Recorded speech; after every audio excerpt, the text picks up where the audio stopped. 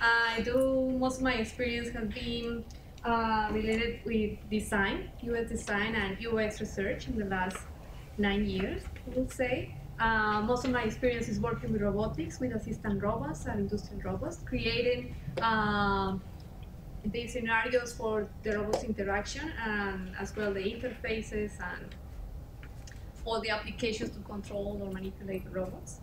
Um, so since I moved to Canada, uh, I always have been a lover of video games and I, had, I have worked for QA and video games and marketing uh, research as well. But now it's like when I move here and I realize, okay, what is the difference between VR, mixed, virtual reality, mixed reality, and augmented reality?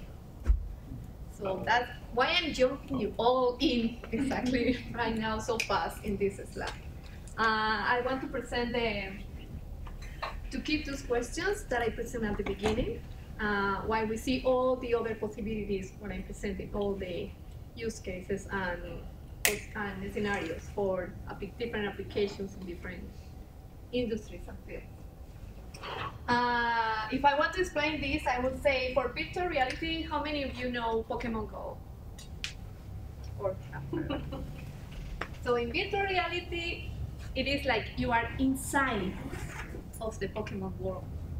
You are inside. Wherever you turn, everything is colors, everything has the logic, and the feeling, the scenario of Pokemon Go. In mixed reality, no, in augmented reality is the actual Pokemon Go that we know. So you see some parts, some of the elements of the reality, right? Like the streets or something that you can just see with your camera, and you just see something digital that is um, linked to that reality. But they are not interacting with that reality. So you see in your reality something digital, right? And in mixed reality, that element interacts with your reality. So you can see how uh, all those elements can, um, uh, interactions that you do with that uh, experience can affect how some elements relate to each other or something. So for example, in augmented reality, uh, the Pokemon Go, as, as you see, you are, I don't know, you are walking the street and you see a bus stop and you see the Pokemon, but if a bus comes by and if also, like you still see nothing happens to the Pokemon, right? But in mixed reality could be a possibility like like the Pokemon getting the bus or something, or tells you which bus to take or something. It's, it's totally Is it clear? Yes. So the adoption of all those technologies is expensive. Very expensive uh, experiences and very expensive things. Normally, they start many years ago and they are like super expensive. Only very few early adopters have the money to buy it or to use it. Many cases are like institutions, universities, uh, that adopt these technologies in their research uh, programs and, and experience and, and studies. Uh, but but same happened with many other technologies with AR, VR, that many people is getting really into it. Like know, just a few years, um, buying any VR device something was around 900 if it was cheap. And now, just this week, it was a, a um, Oculus Go. The Oculus Go, and it's about you can get now one for about 300 something. So it's like it's getting there. And as we see, also the augmented reality is getting more room actually than the virtual reality. So depends on what is the project or your needs or what do you need this technology for uh, you choose either one of you. Okay, now, learning, how we do it. Sorry. A question, uh, is a good example of augmented reality something like Google Glass, what Google Glass tried to do? And is there and if I is there something coming out that's similar to Google Glass that's coming out in the market that that we should look at? Like, okay, this is the next augmented reality thing. I am not totally aware if if HoloLens, but I have the I am going. Sorry. Google So- Glass is being used in Snapchat industry. did something. Oh, okay. Yeah, They have a, but it just takes photos, right? yeah, it's just three three sixty Yeah. videos. No, but the snap goggles or whatever they're called. Features? Oh, just like the, the the, Instagram the, glasses? Yeah. like the mask and the. Yeah, but they introduced some of that. I- I, I feel like because mobile phones is what everybody has nowadays, so a lot of development effort actually went into creating AR just uh, using your phone, and that's why you don't see a lot of just um, um, a third-party headset uh, for AR. So I, that's just um, that's what I observed. Yeah, for virtual reality and augmented reality, we have the first thing that maybe you think is all these things, right? That you wear, these devices that you have to wear. But also you can you can have virtual reality in your phone and augmented reality. There are many of, of the phones that we have here have the possibility to download uh, augmented reality applications. And you can just play with it and, and try to understand how is the user experience and how is the relationship in those scenarios with that technology. So, uh, so I don't know if you heard. I guess you know more than about this than me, but uh, about learning, we know that after two weeks of learning something, what stays with us uh, is 10% of what we have read, uh, 20% of what we hear, or something like auditory stimulus or something, about 90% that we can recall and remind what we learned is when we were doing something. When we when we when we did it and we experienced it with all most of our senses. So humans learn better by doing. Um, augmented and virtual reality, these are different types of examples for different projects. And there is one example, for example, for the Oculus that is First Contact. It's a type of sort of game experience where you can go and manipulate many objects in a scenario where you are like in a space of type of sort of ship um, interacting with this robot and I don't know if you get the chance to see but here in this small frames is like he's doing exactly with his hands what he's doing in the virtual world. And it's the thing with this technology is very difficult to explain unless you try. Um, but this is this is something that when I tried, I was very excited because you can apply all the logic that that you have here. For example, if you want to teach a, a kid, or in language, for example, learning, uh, if you want to uh, teach directions or positions, I don't know, like on top or in, outside, all these sort of things you can imagine it, and that's just very small example, but you can you can use this in many many different ways. And knowledge is an information gained through experience. So the more we get to experience any subject, any field.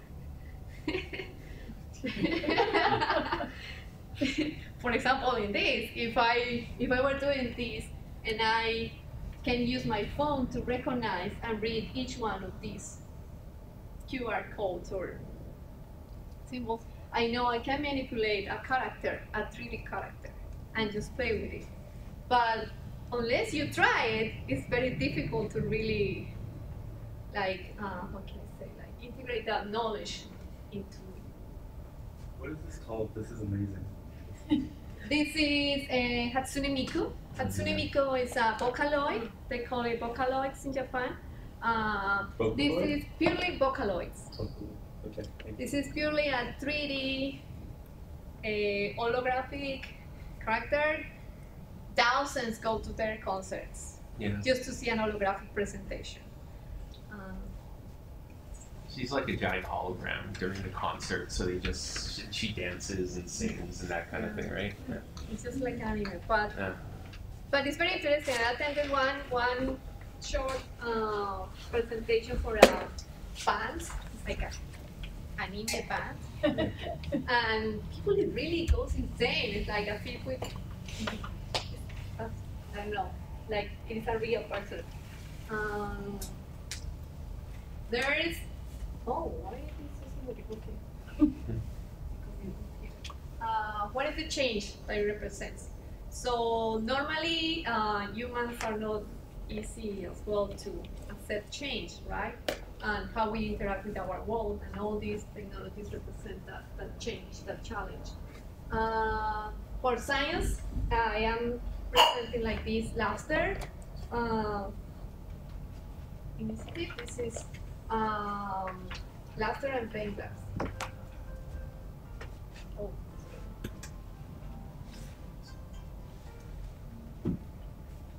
and this um, this one is like they the students can can go and interact in a real lab so there are no safety issues there are no concerns about what kind of math they can do. Uh, they can even uh, try and how can say analyze salmonella samples.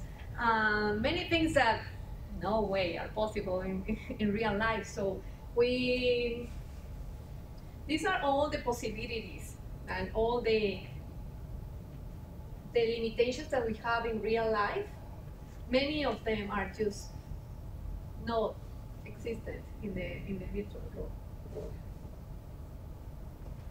This is, for example, the one for HoloLens. Oh, but okay.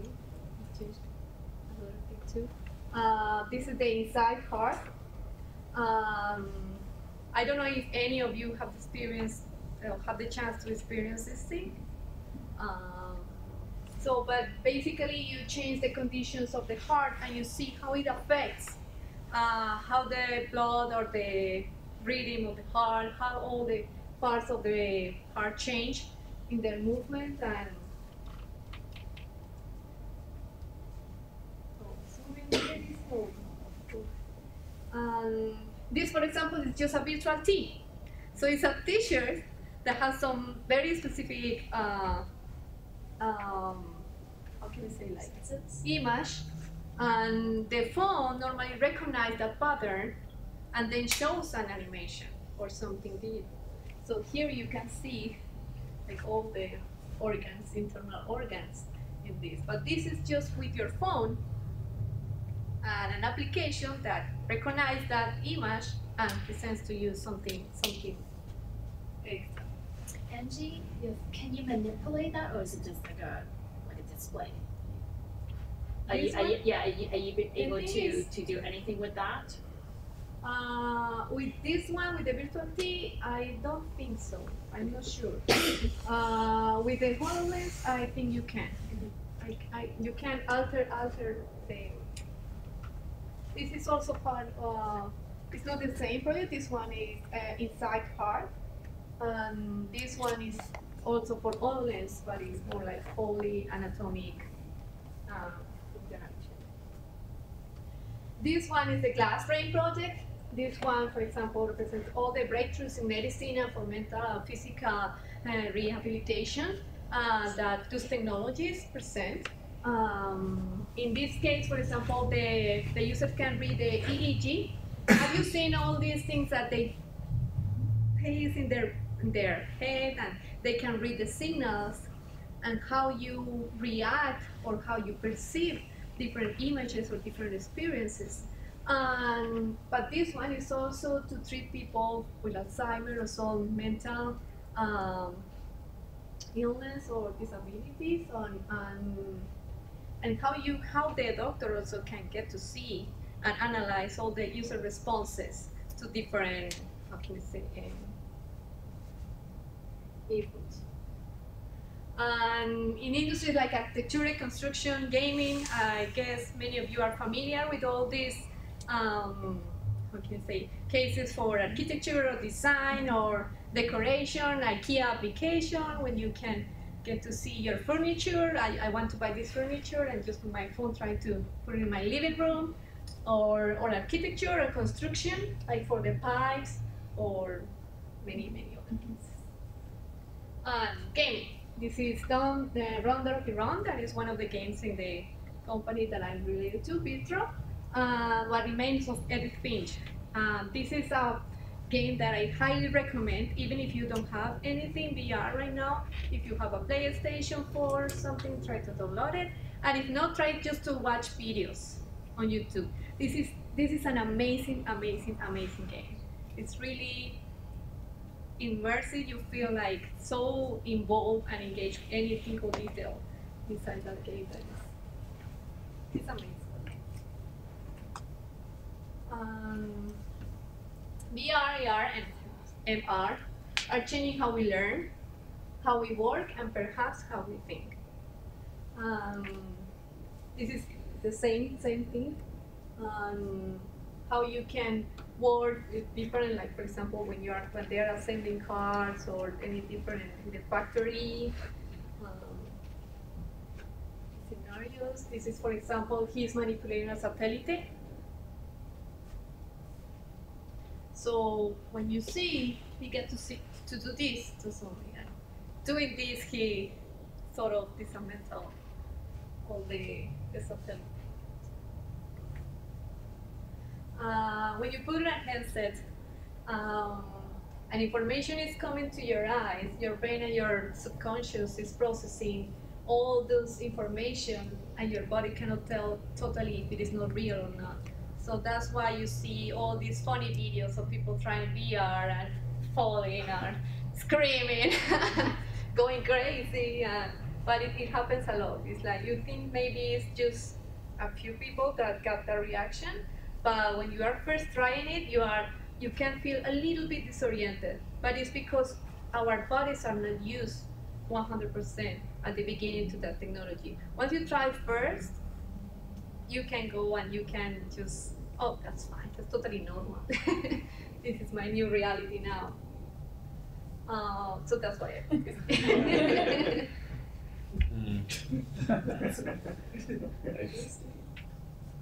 so how can we use this technology in learning? To make knowledge transfer faster easier and more universal.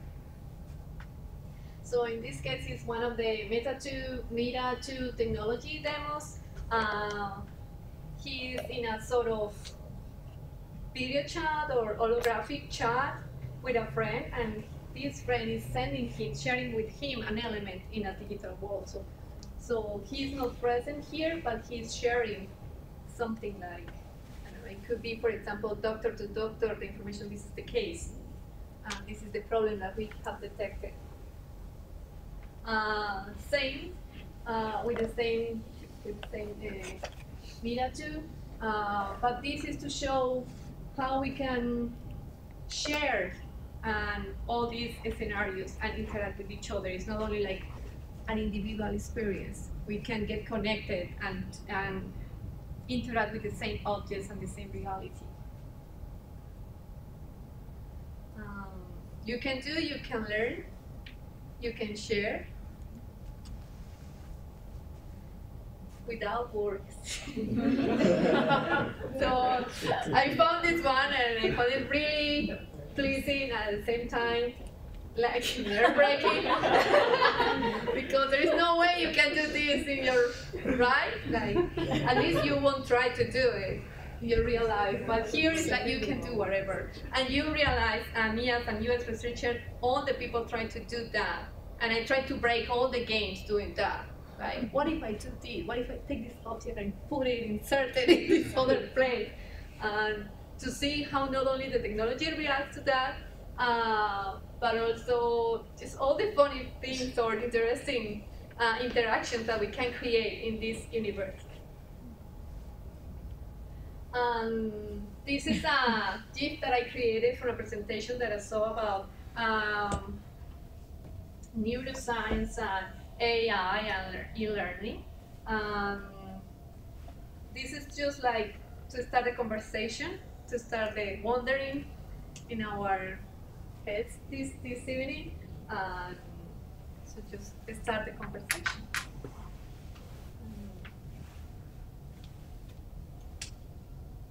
This is pretty much everything. If you have any questions, shoot me now.